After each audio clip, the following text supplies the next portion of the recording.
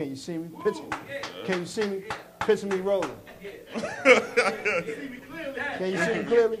All right, right now, we want to bring on heavyweight fighter, man, Cleveland's own Cory Gregory.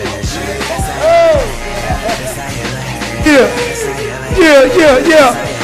know you got a roommate. Call me when there's no one there. Put the key under the bed. and You know I be over there.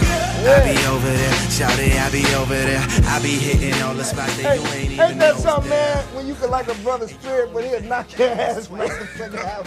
What's up, Cory? What's up, man? Hey, man, you know, it just intrigues me. I, I love fighters, man, because you got to have a heart to do what you want to do. You ain't, ain't for play.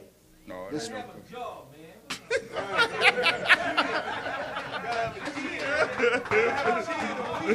You got to have a chin. That's true. That's true. You got you got to have a chin. If you ain't got no chin, uh, ain't no ain't no sister boxer. Right. Ain't right. no sister boxer. Ain't no sister getting in that ring talking about how slick you is. Cause one shot, Let, let me get into the mindset because I say it takes something to want to be a warrior. And in your in your mind, you got to call it. We'll get to it.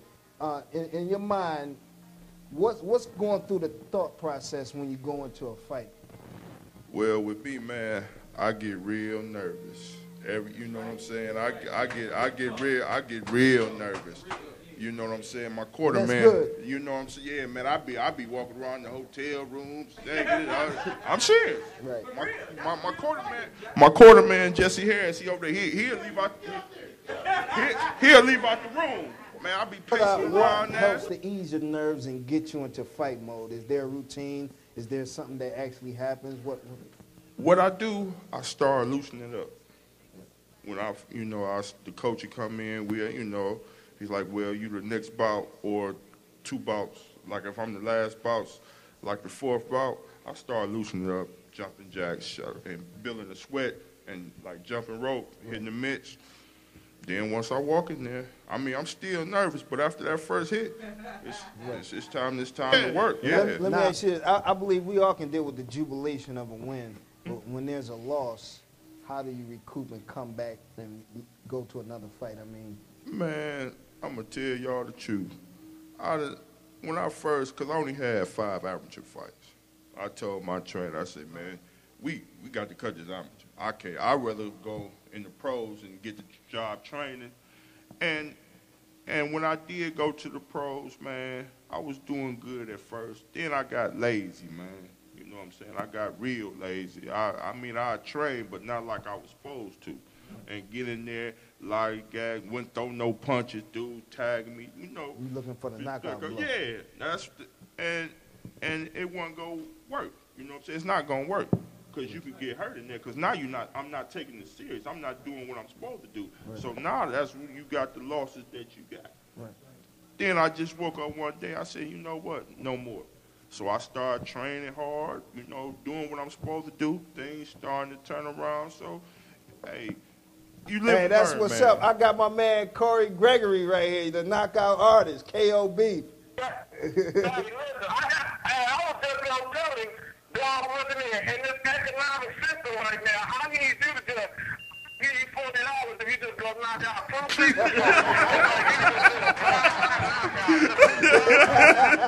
I'm a too, and I'm a bouncer too when I ain't boxing. You know what I'm saying? And um, I done had all type of people, man. You know, bodyguard for 'em when they come in when they come in the clubs. You know, they, they come right to me, man. I you know pay you this. I just want you to watch me all night. You know, walk me to my car.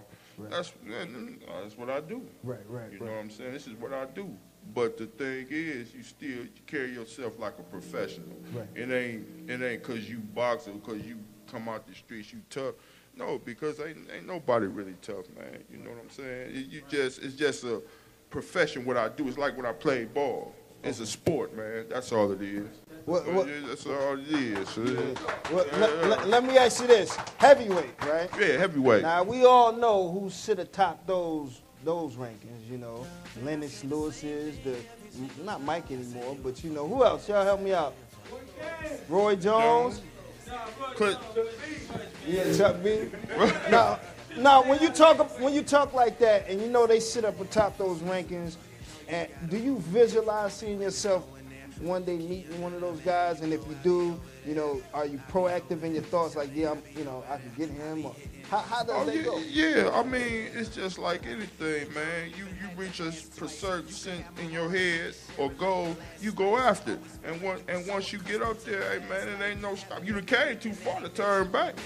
You know what I'm saying? The hit man just like you is, so the best man gonna win. But I'm coming to win. If I if I done made it that far, it's on.